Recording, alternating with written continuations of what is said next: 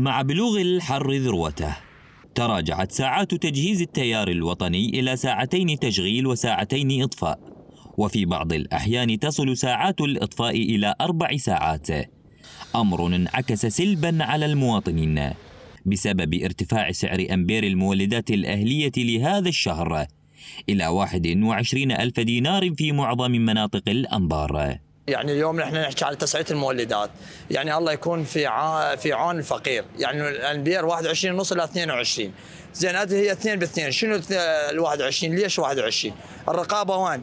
هسه يقول لك غاز ما صرفونه شو طلع رئيس الوزراء أساس صار صار يمكن كل كل كيفي ما أدري إيش قد. إيش كم ألف لتر؟ وين أعضاء المجلس؟ وين المجلس؟ وين الهيئة؟ النزاهة وين؟ المولدات شنو؟ ماكو عليهم رقابة؟ أصحاب الدخل المحدود هم الأكثر تضررا خصوصا إن دخلهم لا يتجاوز عشرة آلاف دينار في اليوم الواحد.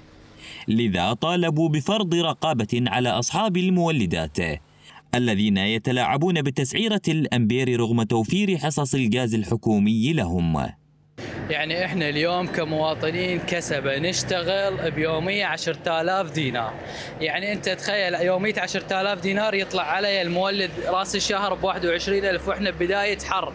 إحنا إذا بداية الحر وبداية شهر ب 21000 الشهر الجاي إيش قد؟ يجوز يصل 30 40000 يعني نريد من الله ثم هالحكومة الجديدة تشوف لنا صورة حل. غياب الرقابة من قبل الجهات المعنية ساعد أصحاب المولدات لفرض تسعيرة تناسبهم فيما يهددون بإطفاء مولداتهم بين فترة وأخرى إذا ما تم تجهيزهم بالغاز الكافي وأخذ تسعيرة تناسبهم بحسب قول الأهالي. من الأنبار دريس يحيى قناة الفلوجة.